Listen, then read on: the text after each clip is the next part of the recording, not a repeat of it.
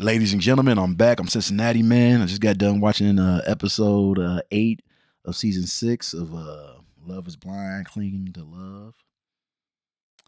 Um, it, it okay. I'm a. I'm trying to. I'm trying to. There's a couple people I'm mad at on here, and I don't know how. I'm. I'm gonna try to keep this very short. I'm trying to keep this video about five to seven minutes long.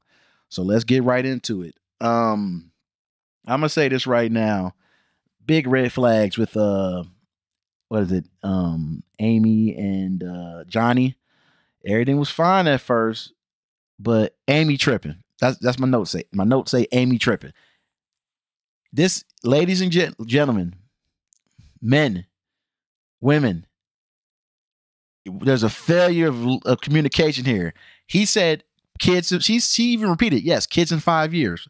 Then she's like, but if we have one before that, it's no big deal. He's like, yes, it is a big deal. It's a huge response. He's taking it more serious than her. And she's the one that got to carry the baby, but she's like, yeah, I know. So I'm fine with it if it happens under under like even next year. It's like, no, y'all have a plan financially, a goals and everything. And guess what? Yes, it's tough. And another thing, when you know, oh, birth control so much and this and that. It's so much. You're right. Women. Are, I had a conversation with a woman. She told me she was like, "You don't understand birth control, this birth control, that hormones, losing hair, all that. Like I get it, but you're choosing to have sex, and this and and side effect is either baby, or get on birth control and have that other stuff, or don't get a birth control and always have that fear of the baby and just got to pull out, wear condoms, whatever. Um, she tripping. Well, I have a problem with that. You want a kid so bad let's check out your finances. Let's see. Let's let's make sure the finances.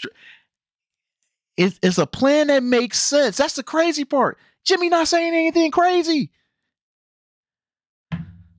Johnny, sorry, Johnny.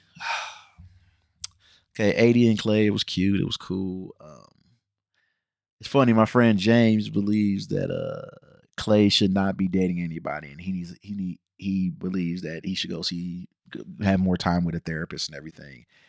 Um, and at first I was I was I was like, you think so? Like, nah, nah. Now I'm thinking about it the way he was like, uh huh. You know, my dad was. I don't. And questioning, making like hoping that you won't let somebody down is a huge part of going to the next step in somebody's relationship being serious. The the fear of not not not that you want to be perfect, not that you're going to do something, but you don't. You just have that fear of like, oh, I hope I don't mess up. Not. And some people are like, oh, so you think you don't mess up? No, I'm just like, you know, challenges will always happen in life, and and even before they get there, there's all you know. Sometimes people have a lot of fear and pre-fear. um, I, I, hope he, I hope he, uh, and if he doesn't decide to be with her and needs more time and stuff, I understand. But they seem like they're rolling right along. Um, Chelsea and Jimmy, she is clingy. She's clingy and sometimes and guess what? And when you in new to relationships one person has to adjust for the other and vice versa. Y'all can't be the same with each other but there are um adjustments to be made. And sometimes one spouse is more understanding than the other. Um jimmy jimmy is saying all the right stuff but but chelsea's like it doesn't feel like you're saying the right stuff. And he's like what? Like but i'm trying my, my best. And you ain't trying good. You, you, the way women go off in this show is kind of amazing because it's like, oh, that's cute. You can go off like that. Let let a man talk to a woman like going off like that. It ain't gonna happen. It be, be dead near sound like abuse. But yeah, they need some time apart. Um, the Jimmy and Jessica thing. Uh, at first I was 100 percent like, uh, forget her, but if she came back, if she came through and, and stole and stole the stole the show and got them back, I mean that's fine. I mean I guess. I mean yes it hurts. All what they say all Australian love is war, love and war. You know I don't know. Oh, and James said that uh Chelsea shouldn't be.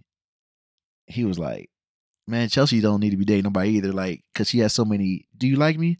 Are you are you afraid? Do you what do you think of me? Do you think I'm pretty? I've known some women to act like that. Like they need affirmation like every 30 minutes or something. It's and and, and they and I get it. because when they act like that, yes, they because they're a woman, they be able to get with men, but they they've always been teased their whole life, or or even had their inner demons about their looks, and they become very insecure, so they need that constant wave of emotion. That's where that comes from. So, you know, um, if they don't make it, Jimmy and Chelsea don't make it, I get it. I laughed. That's, that's I shouldn't have laughed. Um, let's see who else. Laura and Jeremy. Nothing's really going wrong. I mean, all I'll say is this.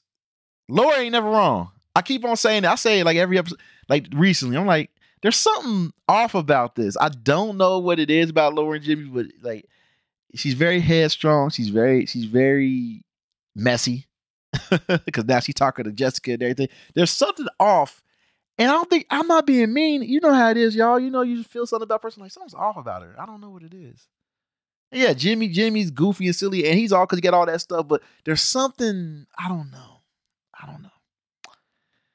Okay, um, we're gonna get right to it. Uh, I my favorite, my favorite couple that I thought was real solid at first was Ken and Britt. But as okay, is it the editing? I don't know what it is. Ken kept on being cold, hot and cold, hot and cold, hot and cold. And he said something, had a nerve to say something one time, like, hey, you know, when we was on we was on D- Dominican Republic and stuff, yeah, I mean, I don't smile and stuff like that. That's not what I do. It's like, what are you talking about? Dude, you smiled like 10 times and had a genuine yay, like giddiness to you, maybe five of those 10, maybe. And then you went back to like you had so much on your mind. Like you look like you look like you I don't know what you was of my friends said, if Amy would have dressed up as a dolphin, he would have loved her. but she, Amy's a good woman. Amy is being supportive, nurturing, and when she says, "Hey, I don't feel affectionate," he's like, "That's you."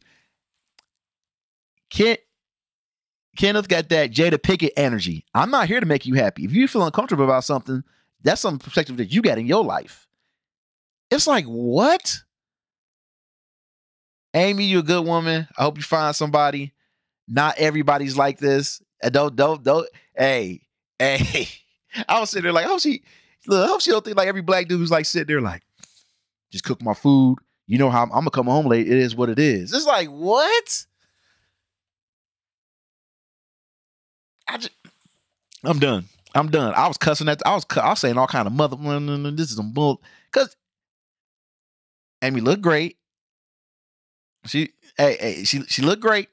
She, she, you look, anyway, affectionate. Hey, honey, would you cook something? Okay, I, okay. Laid back, attentive.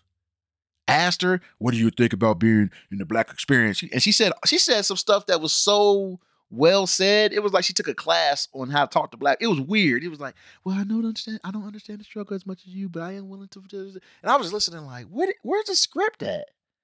Who had a did they hire like some diversity person on the show to give her a rundown or something? Like, what's going on? And he won't have the nerve to look at her and be like, I am who I am. Excuse me? And you're right. You're right. You're right. You are, you are, and you're disrespectful. I'm Cincinnati, man. I'm done with this shit. I'm going on to episode nine. And yeah, I cussed. Cause I'm that damn mad. Going through that bullshit. You know, I can't believe it.